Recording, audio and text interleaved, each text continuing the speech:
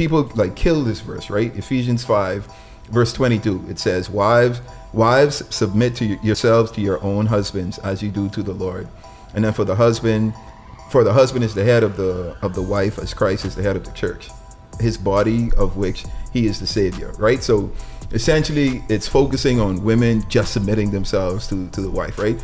There's a verse literally right before that, right? So that's that, that was they conveniently leave out. yeah, that so that was Ephesians 5 22, right? But verse 21 says, Submit to one another out of reverence for Christ. So the first statement that was made was both the husband and the wife submit to each other uh, in reverence for the foundation or which should be the foundation of the relationship, right? Which is which is Christ.